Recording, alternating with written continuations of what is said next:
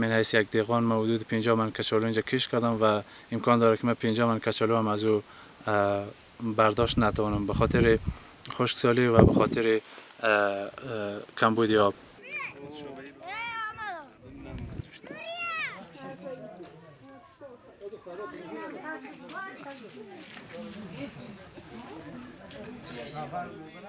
ما دستی خوشحالی دستی پریشونی دست سرگردونی آمدیم بفهمیدیم کسی هم که ما مردم بکردیم کسی ما همه بساخته یک دانه از این خود ما بر نداشتیم که ما بردسته باشیم یا ببرد باشیم بیا آمدیم خود به نیمتا امی شهر داریم که بکنیم تو خدا امی شهر به ما کمک کنیم به ما امانت کنیم به ما بیتیم خاطر این طرف ما که از گشنگی نمونیم انا بیا مادم برای به من جام بیا مادم اینجا هم تو خورده نداری شی از کلی میره او نمیریم هم اور دیره میره آد میره موسادی نه تو کیلومتری وقت سر ما میری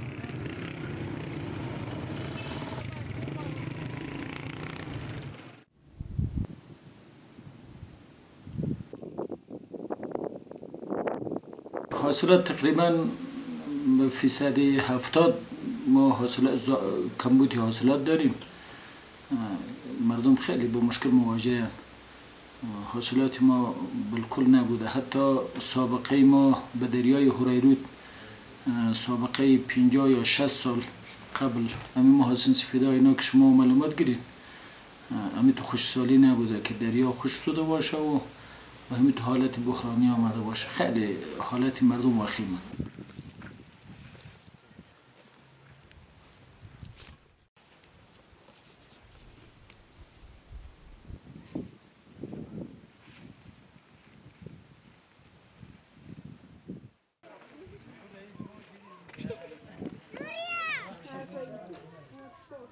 Thank you.